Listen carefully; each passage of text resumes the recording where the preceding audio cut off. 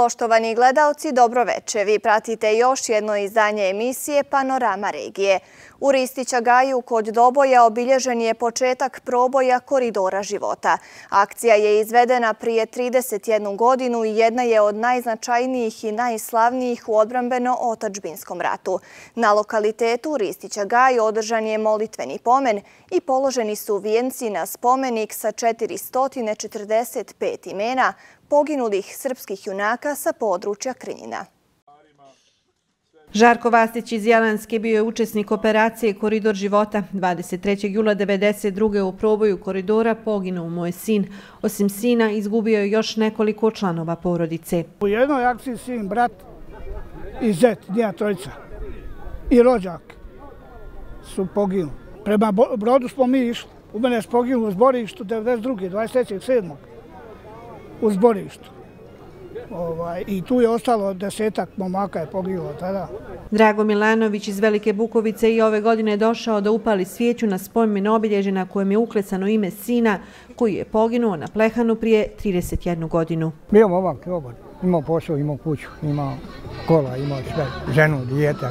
Mala je ostala od tri mjeseca kad je rođena. Na mjestu sa kojeg su prije 31 godinu krenuli u proboj koridora, okupili su se porodice poginulih bivši borci, komandanti. Prisjetili su se dana kada se iz okoline Doboja krenulo u četveromjesečnu bitku za život. Mi nismo imali izbora. Život ili smrt. Moramo se sjećati naših poginuli, obilježavati. Dok i god mi budemo dolazi da obilježava na svim mjestima, dotad se on s nama među živim. Sa lokaliteta Ristića Gaja 8. juna 1992. krenule su prve bitke sa pripadnicima Hrvatske vojske i HVO-a koji su prodrali u Dobojska naselja u namjeri da se spoje sa jedinicama takozvane armije BiH iz pravca Zenice.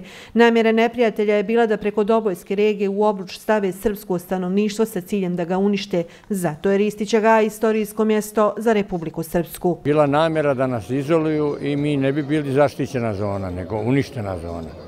Znači, njihove namjere su bile da preko ove Dobojske regije blokiraju, presijeku, iscepkaju teritoriju Republike Srpske, a ona je već funkcionisala.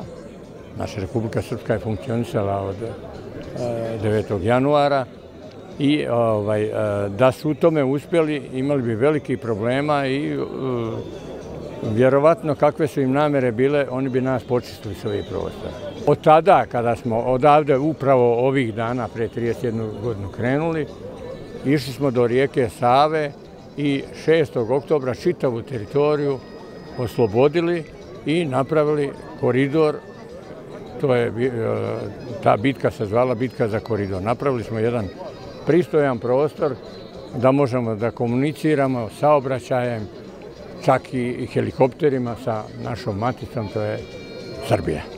Bitka Koridor života bila je bitka za spas srpskog naroda. Jedna je od najhumanijih i najznačajnijih u srpskoj istoriji. Zahvaljujući njoj omogućeno je spajanje Republike Srpske i njen opstanak. Ovo je jedno od veoma važnijih e, mjesta u novijoj istoriji srpskog naroda.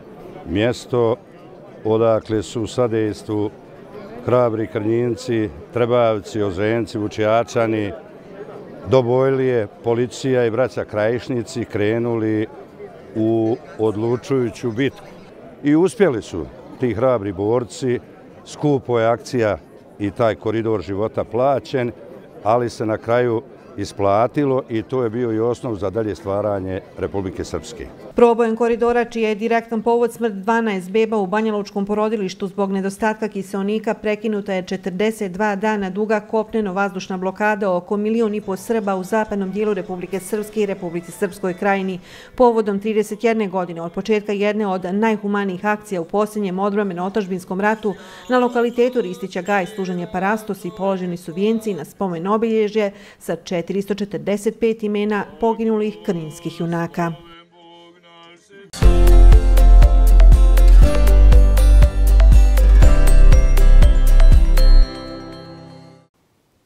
Udruženje osoba oboljelih od diabetesa u Republici Srpskoj Diabet NO1 organizovalo je u Centru za kulturu Prinjavor završno predavanje o diabetesu, više znanja, manje strahovanja. U okviru projekta predstavljen je i priručnik Diabetes u školi.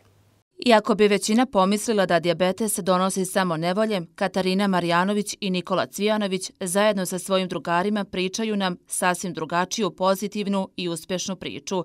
Šta je diabetes i sa čime se sve nose oni koji imaju ovu bolest, prenijeli su prnjavurskoj publici na predavanju više znanja, manje strahovanja. Katarina diabetes ima 11 godina. Nije bilo lako, ali naučila je da traži rešenja, a ne iskovore. I nije imala kočnice. Učenik generacije, brojna takmičenja, nagrade i uspjesi su iza nje, a uspjeh ostavlja i na terenu. Godinama trenira odbojku. Po meni diabetes nije bolest, diabetes je stanje. Ako dobro e, kontrolišemo naš šećer, možemo da radimo sve što i naši vršnjaci. Diabetes postaje bolest e, te kada ne kontrolišemo nivoje glukoze u krvi e, i za 10 godina ćemo vidjeti posljedice toga, jer diabetes je bolest koja ne boli sada, ali kasnije, ukoliko ne kontrolišemo, možemo da imamo velikih problema. Koliko ima u suštini predrasuda o diabetesu? Pa, postoje mnogo predrasuda što se tiče diabetesa, pre svega što se tiče diabetesa tipa 1, jer mnogi nisu upoznati da postoje različiti tipovi diabetesa. Najčešći tip diabetesa je tip 2, odnosno starački diabetes, da ga tako nazovem. On se javlja kod starijih osoba, često gojaznih, a e, diabetes tip 1 povezuju s tim. Iako je mehanizam nastanka diabetesa tipa 1 e, drugačiji od tipa 2 i nema, ne zna se tačan uzrok nastanka tipa 1. Zajedno sa gradom Prnjavor, ovi mladi ljudi počeli su ovaj projekat kako bi drugi ljudi imali širu sliku šta je to zapravo diabetes i kako živi osoba koja ima diabetes. Ako želimo relativno dobru regulaciju šećera, mi moramo najmanje četiri puta dnevno da se bodemo, da vadimo krv iz prsta. Sada je to olakšano s obzirom da postoje e, merači za kontinualno merenje šećera, odnosno senzori za merenje šećera i tu je još jedan značaj našeg grada, pošto e, naš gradonačelnik je prepoznao e, našu borbu i odlučio je da svim osobama koje su obolele od diabetesa tipa 1, bez obzira na životni dob, refundira senzore. Jer e, senzori e, koje mi nabavljamo ne postoje ovde. Postoje u zapadnoj i centralnoj Evropi i onda na razne načine moramo da ih nabavljamo, a nisu baš jeftini i on je odlučio da nam na taj način pomogne. Diabetes ne smije biti izgovor. Poruka je koju je Katarina sebi često ponavljala od kada joj je prije 11 godina diagnostifikovan diabetes. Zbog toga danas iza sebe vidi samo uspjeh, a sada je došla do kraja srednjoškolskog obrazovanja. Baš zbog diabetesa mislim da sam odlučila da se uključim u sve te aktivnosti, jer sam htjela da pokažem svojim primjerom ostalima da Eh, ne trebamo da se sebe ograničavamo jer su nam ograničenja u glavi eh, i ne samo osobama koji imaju diabetes, već i svima. Jer često u današnje vrijeme eh, mladi ljudi kažu ja to ne mogu da uradim, a u stvari sve možemo ako želimo. Katarinin drugar Nikola Cijanović diabetes ima skoro pet godina. Na početku nije znao mnogo, a sada sve ono što zna želi da prenese drugima. Sada diabetes posmatra sasvim drugačije. Pa naravno imaju neka ograničenja, ali mi koji živimo s diabetesom naravno naviknemo se na sve što nam život baci, jednostavno moramo da bi mogli živjeti normalno. Grad Prnjavor pomogao je svim diabetičarima pomoću senzora. Koliko je to značajna pomoć? Pa to je velika pomoć. Senzori sami su veoma skupi i jedan traje samo 14 dana maksimalno. I ta pomoć, mislim, mi prvenstveno možemo se priuštiti. Imaju mnogi koji nisu u stanju da se to priušte i baš zbog tog to je velika pomoć. U okviru projekta predstavljan je i priručnik Diabetes u školskoj klupi. Priručnik je dizajnirala jedna, uh, zove se Lea Leleta, dizajnerka, ona isto živi sa diabetesom i taj priručnik dizajniran je da pokaže učiteljima i svakoj drugoj osobi koja vodi računa o djeci, ako već e, vodi računa o djetetu koji ima diabetes, kako se treba ponašati i na što treba obraćati pažnju, da bi to djete bilo što sigurnije i da bi se njegovi roditelji osjećali sigurnije isto. Šta je glavna poruka sa ovog predavanja onima koji imaju diabetes? Pa da nisu sami i da život sa diabetesom ne treba biti preživljavanje, već i življenje kao svako i drugo. I svim ovim ljudima velika pomoć je gradska vlast. Prnjavor je inače jedina lokalna zajednica koja svojim građanima koji imaju diabetes tip 1 bez obzira na životnu dob refundira sredstva za nabavku senzora za mjerenje šećera u krvi. Ono što moram reći jeste da su oni jednim svojim dopisom, odnosno jednim svojim mailom kod nas u lokalnoj zajednici probudili svijest o ovoj temi. Mi smo na osnovu jednog njihovog maila odlučili da prije svega im pomognemo i uvjeren sam da su oni tu pomoć iskoristili na najbolji mogući način, ne samo u smislu svojih korisnika, nego i evo priče o ovoj temi, otvaranjem ovog problema i predstavljanjem problema kao nečeg sa čim se normalno može živjeti. I večera smo ovdje u Domu kulture upravo s tim ciljem da oni predstave projekat koji su provodili posljednjih mjeseci, ali ono što želim svakako jeste da pohvalim ove mlade ljude jer oni su primjer dobrih i učenika, nadam se sutra i studenta i pravih naših građana naše lokalne zajednice. Prnjavor je tokom prošle godine iz budžeta izdvojio 27.520 konvertibilih maraka za pomoć u liječenju oboljelih od diabetesa tip 1. U prvom kvartalu ove godine iz gradskog budžeta već je isplaćeno 10.800 konvertibilih maraka. Udruženje osoba oboljelih od diabetesa Diabet NO1 doznačeno je i 3.300 konvertibilih maraka finansijske pomoći za realizaciju edukativnog projekta Više znanja, manje straha strahovanja.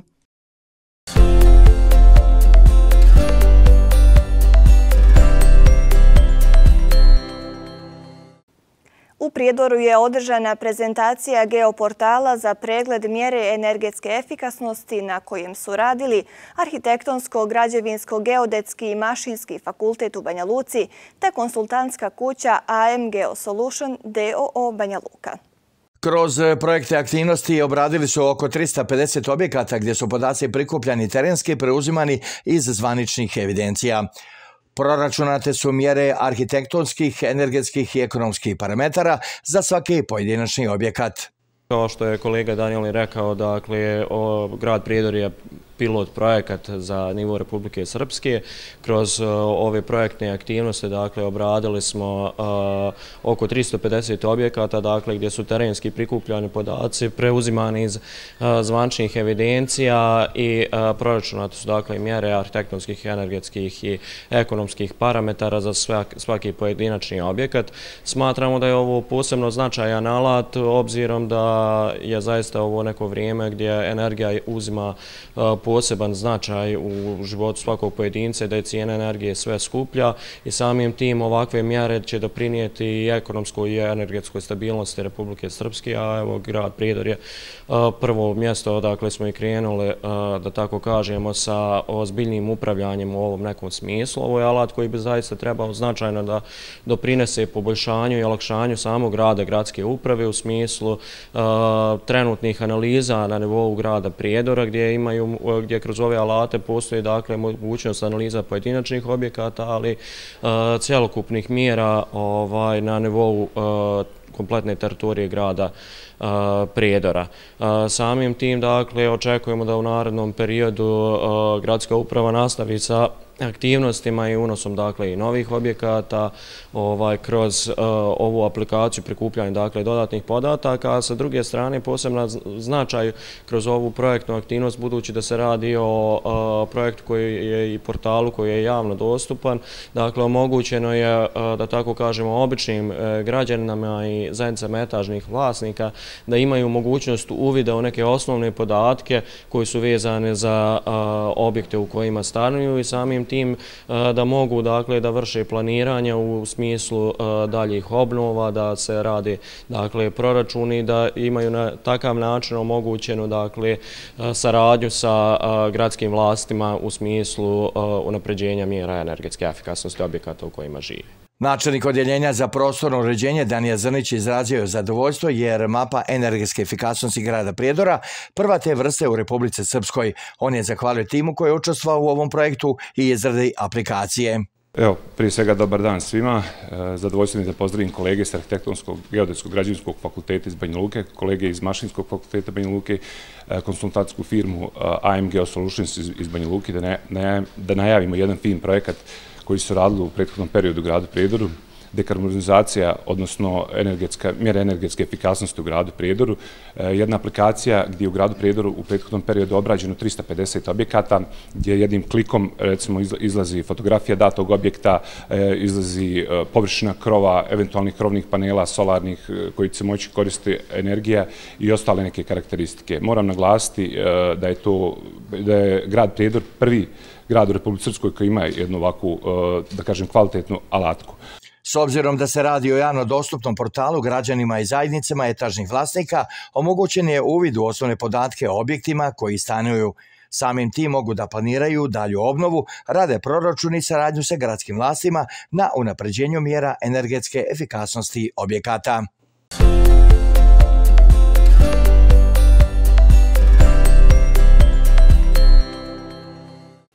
Školska godina za maturante u srednjim školama je završena, a za najbolje tesličke srednjoškolce u ovoj generaciji upriličen je tradicionalni prijem kod načelnika ove opštine Milana Miličevića.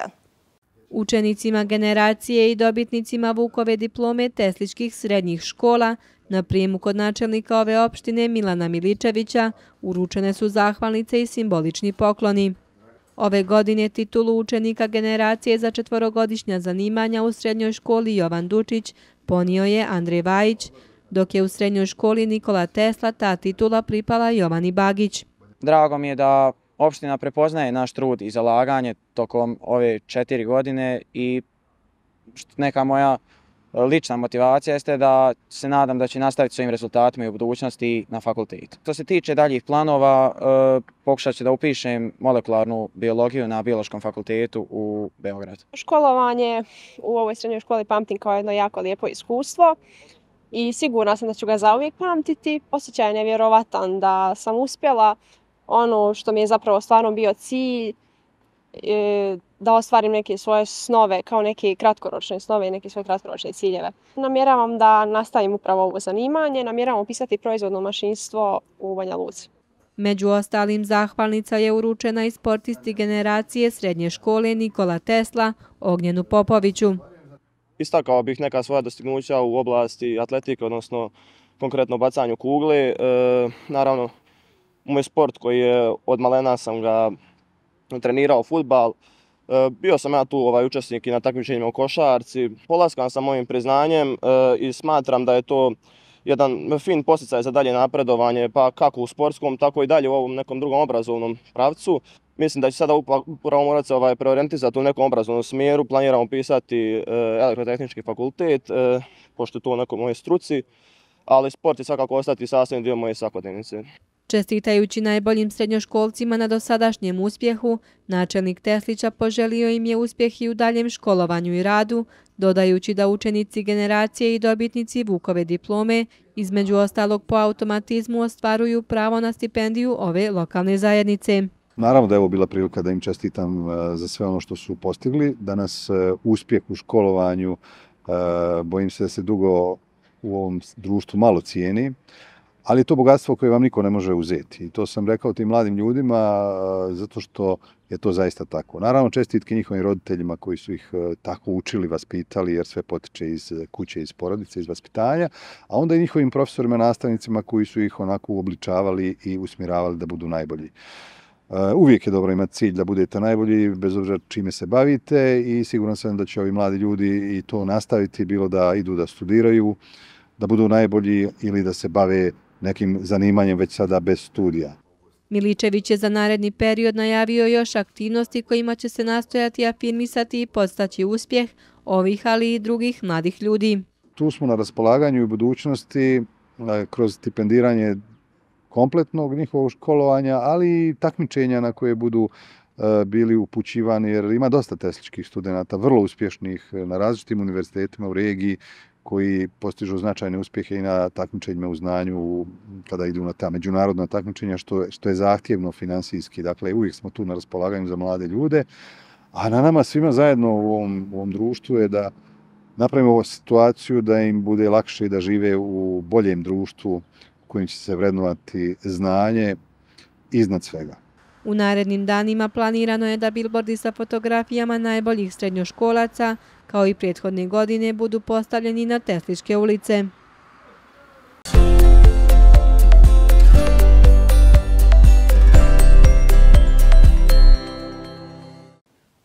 Učenicima završnih razreda Srednjoškolskog centra Jovan Cvić u Modrići uručena su svjedočanstva, a podijeljene su i diplome Vuk Stefanović Karadžić i uručena nagrada učeniku generacije. Titulu najboljeg učenika u svojoj generaciji ponio je Andrej Vujić. Među 162 svršena srednjoškolca za učenika generacije u Srednjoškolskom centru Jovan Cvić Modrića proglašen je Andrej Vujić učenik četvrtog jedan razreda gimnazije opšti smer – Andrej je, pored niza prvih mesta na školskim i regionalnim takmičenjima iz informatike, demokratije i ljudskih prava, tokom školovanja bio treći na republičkom takmičenju iz informatike. Učestvovao je i na državnom takmičenju, a osvojio je i zlatnu plaketu za mobilnu aplikaciju Dnevnik pčelarstva. Njegova druga aplikacija Praktikum svrstana je u pet najboljih u Bosni i Hercegovini. Ove godine za prosek 5 i primjerno vladanje tokom školovanja diplome Vuk Stefanović Karadžić je dobilo sedam učenika gimnazije. Andrej Vujić, Bojana Zuber, Dajana Panić, Bojan Poljić, Andrijana Raulić, Anastasija Stajić i Katarina Vujković. Završila sam e, gimnaziju društveno-etički smjer i planiram dalje da nastavim e, biologiju. Pokušat ću u Banja Luci Novom Sadu. A, bilo je teško, mislim, uz disciplinu i rad i redovno učenje nije stvarno teško. Pamtit ću po društvu, po profesorima, po, po predivnim momentima, najljepši, definitivno najljepši doba života. Pa mi svake godine kažemo da su uspješni, zaista su uspješni, s obzirom da su svi završili i maturirali sada u junskom roku sa uspjehom. Ima tu i boljih i onih prosječni, ali uglavnom se ističu svi po nekakvom, da kažem, entuzijazmu, radu, učenju, van nastavnim aktivnostima. Jako puno je bilo školskih takmičenja regionalne republičke gdje zaista ova generacija možda i nisu postigli one vrhunske rezultate, ali su zabilježili veliko učešće načešćih učenika na svim tim takmičenjima. Mi koji radimo u obrazovanju trudimo se da što više utičemo na učenike tokom njihovog formiranja kao ličnosti, kao osoba, zajedno sa njihovim porodicima i roditeljima, ali uvijek ima nekakve pojedinačne slučajeve, ali e, ovu generaciju kao i ove generacije posle njih možemo se pohvaliti da nam dolaze učenici zaista koji su sve više i da kažem i pristojni, i marljivi, i požrtvovani, trude se. Veliki je sada iskorak napravljen u zanatskim zanimanjima gdje su zaista velika interesovanja učenika i za posao i za praktičnu nastavu i da nauče rad, tako da se možemo pohvaliti sa svim zanatskim zanimanjima. Evo njih već e, od sutra sutra počinje rad dosta. Svi su im poslodavci ponudili posao i to je jako, jako za nas veliko jedno zadovoljstvo i jako dobro i za njih i za njihove porodice. U ovoj generaciji maturanata 31 učenik završio je gimnaziju, 88 je tehničara i 43 učenika zanatskih zanimanja.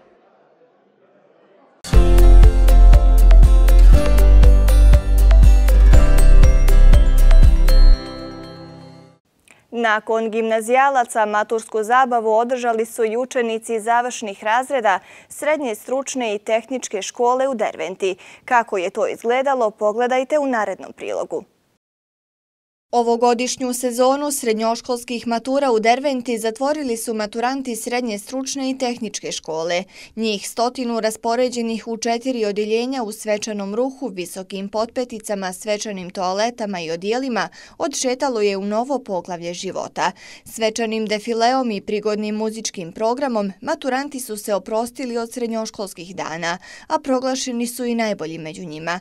Titulu učenika generacije ponijela je Suzana Prijević, koja je protekle četiri godine pohađala smjer poslovno-pravni tehničar.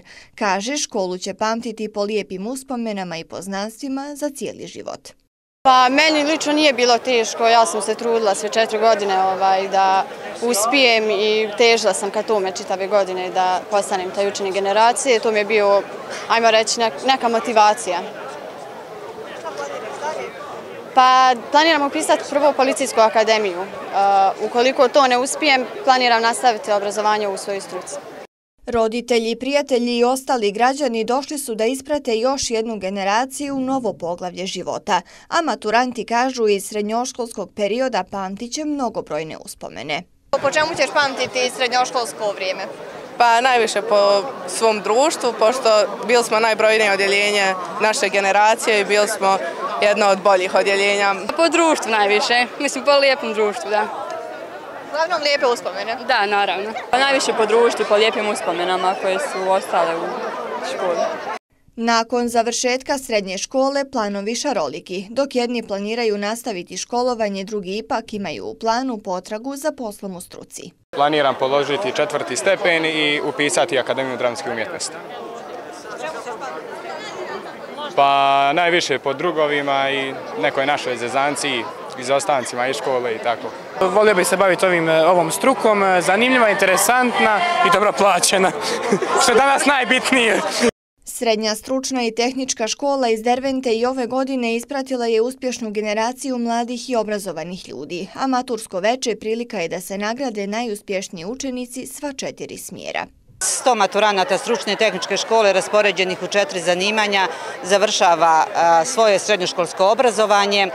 Eh, od tih četiri odjeljenja koja sam pomenula, to su poslovno-pravni tehničari, eh, poljoprivredni tehničari, tehničari CNC tehnologija i kombinovano odjeljenje bravar zavarivač i obrađivač metala rezanjem. Imamo dva Vukovca eh, i osim Vukovaca nagrađujemo učenike prigodnim poklonima, oni koji su završili sva četiri raza svog školovanja sa odličnim uspjehom i primjernim vladanjem. Maturante su ispratili i predstavnici grada koji su pomogli održavanje maturske večeri, a učenici nižih razreda srednje stručne i tehničke škole priredili su bogat muzički program.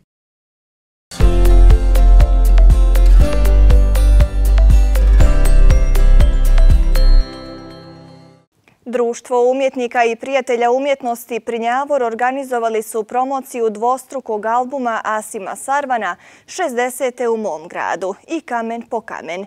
Ljubitelji muzike, kakvu već decenijema stvara Asim, počevši još od davne 1972. godine sa grupom S vremena na vrijeme, imali su priliku da slušaju i njegove najnovije pjesme, ali i one koje ne zastarijevaju. Cijeli život satkan je u albume 60. u mom gradu i kamen po kamen svestranog umjetnika Asima Sarvana, člana nekadašnje legendarne jugoslovenske grupe sa vremena na vrijeme. Ova izdanja odišu prepoznatljivim zvukom. Pjesme su, kaže, nastajale spontanom, iako ima i onih koje su ranije snimljene. A svi oni koji su uživali u muzici jedne od najboljih akustičarskih grupa sa ovih prostora imali su priliku u Prnjavoru da se podsjete nekih od nezaboravnih numera, ali isto tako da čuju i kompozicije sa novog dvostrukog albuma. Povod je zapravo moj dvostruki novi album eh, 60. u mom gradu i Kamen po kamen, koji u stvari treba eh, razumeti kao medijsku podršku obnovi i izgradnji hrama koji je posvećen Svetom Arhangelu Mihajlu na prevlaci kod Tivta. I, I ne samo to, već i ovaj drugi naslov Kamen po kamen predstavlja u stvari drugim rečima obnovu kamen po kamen kulture srpskog e, stvaralaštva. Tako da je, eto, to je, to je neki fokus na, na, na, ovaj, na ovaj to je jedna naša borba, da kažem, za bolji za, za bolji, bolju kulturu, kvalitetniju kulturu, jednu svežiju i to bez uticaja zapada koji još uvek e, još uvek dominira u, u, na tom polju kulture. E, nažalost, mi smo od samog početka e, pod uticajem e, zapada ne bi trebalo, trebalo bi da da mi stvaramo muziku na, na osnovu naših korena i kao što smo recimo moje grupe i ja s vremena na vreme to radili od samog početka. Sarvan je inače već godinu dana član Društva umjetnika i prijatelja umjetnosti Prnjavor, koji je i organizator promocije dvostrukog albuma. Bila je ovo prilika da se Asim pohvali i njihovom članskom kartom. Je razlog zbog kojeg sam ovde, e,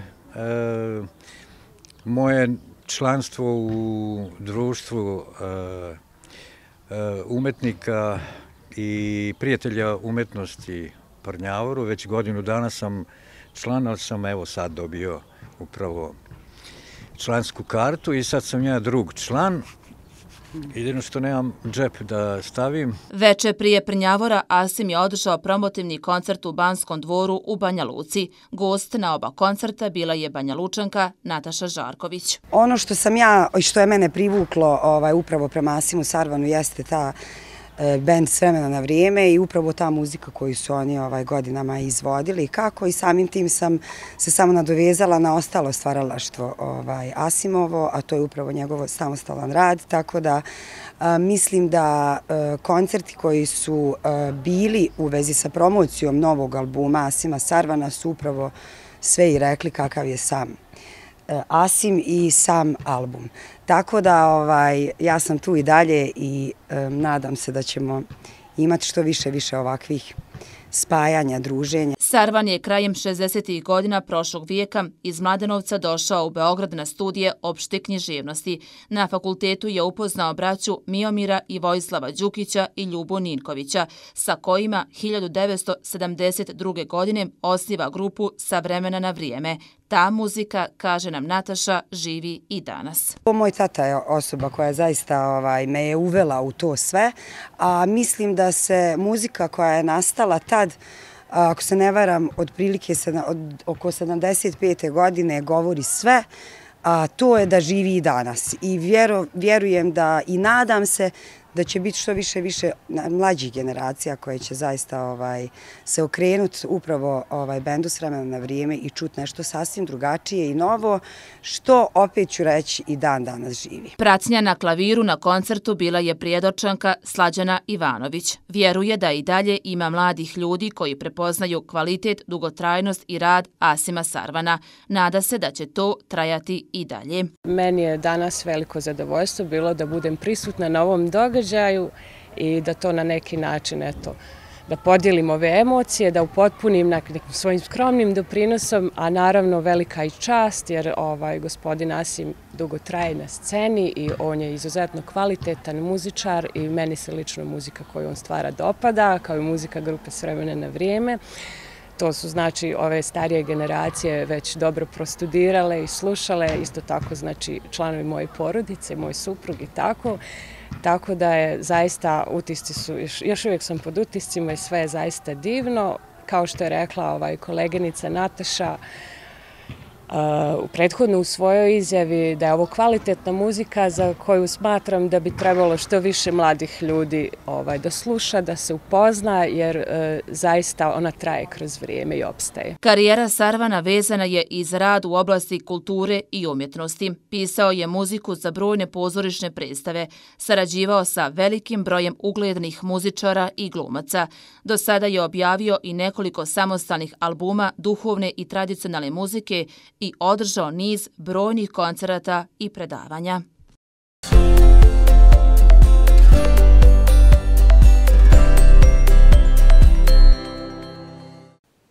U organizaciji Srpskog prosvjetnog kulturnog društva Prosvjeta u Tesliću održana je promocija knjige Srpskom rodu za spas i slobodu protojereja Hadži Nedeljka Goranovića. Promocija je održana uz blagoslov episkopa Zvorničko-Tuzlanskog fotija. Stihove posvećene gospodnjim i bogorodičinim praznicima kao i brojnim svetiteljima Srpske pravoslavne crkve, protojerej Hadži Nedeljko Goranović objedinio je u zbirku pjesama pod nazivom Srpskom rodu za spas i slobodu.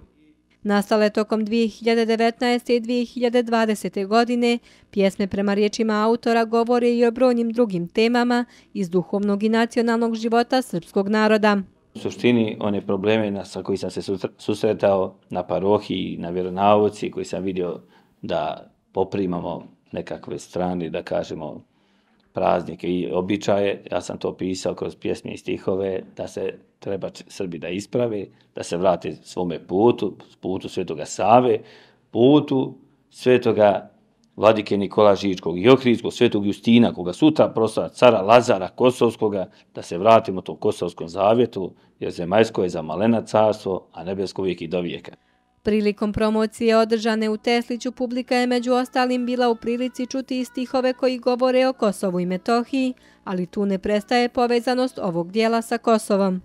Odlukom autora cijelokupan prihod od prodaje knjige biće upućen za pomoć Srbima koji žive na Kosovu i Metohiji. Pa to je jedna posebna povezast, jer ikona koja se nalazi upravo na naslovnoj strani, e, to je freska iz manastira Dečana. Moja želja od uvijek bila da ovdje na sveto i raspeto Kosovo i Metohiju, međutim, tek kad je ovo dijelo izašlo na vidjelo, kad sam dobio blagoslov presvete Bogorodice, onda su mi se tek putevi otvorili prije nekih dvadesetak dana, imao sam tu posebnu čast da obiđem naše najveće svetinje na Kosovo i Metohiji, da vidim kako naš srpski narod živi dole, nije lako, pogotovo njima, to su najveći, da kažemo, junaci iz našeg roda, jer oni svojim životima zaista su na braniku naše vjere, stoje kao što su nekad apostoli i, i da kažemo i svetitelju prva tri vijeka svjedočili vjeru Hristovu, oni su tako bukvalno danas u pojedinim mjestima izloženi svakodnevno porugama, svakodnevno znači stradanjima, raznim iskušenjima. Riječ je o nastavku prakse organizovanja književnih večeri i promocije književnih stvaraoca koji se bave temama od identitetskog značaja za srpski narod, poručuju iz Srpskog prosvjetnog i kulturnog društva prosvjeta koje je organizator promocije. Svaki put je promocija književnog dijela za srpsku prosvjetu jedinstven, odnosno naročito važan i na svoj način dragocijen događaj nekada se ta jedinstvenost ogleda u liku samog autora. Nekada je ona zbog izuzetnosti samog književnog dijela, a ponekad i zbog e, posebnosti povoda za književno predstavljanje. Večerašnja promocija književnog dijela na neki način e, objedinjuje sve ovo, e, jer u nju nam se svojim prvencem večeras predstavio uh, Eh, jedan sveštenik uh, Dobojske parohije, otac Nedelj Goranović, koji uz sav svoj duhovno pastirski eh, rad, odnosno revnovanje u službi Božjoj i sa nemalom svojom živom crkvom u svojoj kući, budući da je otac šestoro dječice, on nalazi još vremena i za pero i, i hartiju. Promocija koja je održana uz blagoslov episkopa Zvorničko-Tuzlanskog Fotija upriličena je u susret prazniku Svetog Justina Ćelijskog, a književnoj večeri prethodio je moleban u hramu Presvete Trojice.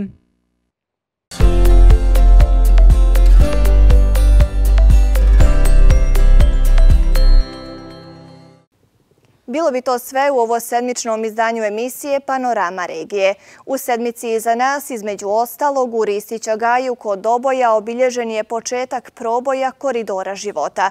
Udruženje osoba oboljelih od diabetesa u Republici Srpskoj Diabet NO1 organizovalo je u Centru za kulturu Prinjavor završno predavanje o diabetesu. Više znanja, manje strahovanja. A vidjeli ste i priču sa promocije knjige Srpskom rodu za spas i slobodu slobodu koja je protekle sedmice održana u Tesliću.